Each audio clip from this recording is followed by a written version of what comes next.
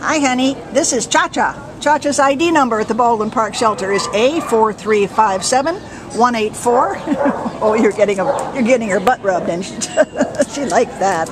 Cha-Cha is an altered female Labrador Retriever, brown, and uh, She's an old gal. She's about 13 years old. Came to the uh, shelter as an owner surrender on March 7th because they said they were moving and couldn't take her. And she did come in with another dog, Rodney, but Rodney was only five, and fortunately, Rodney found a home.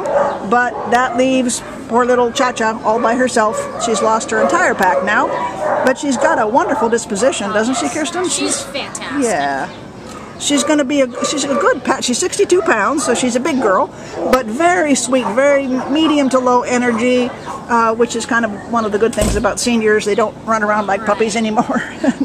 she though it said uh, there's a note that she is limping, but we didn't see any evidence of it today, so who knows what that's about. Um, but she does need a new a new friend, a new home. She's going to be a loving companion. Oh, and look at how can you resist that face? Look at those eyes.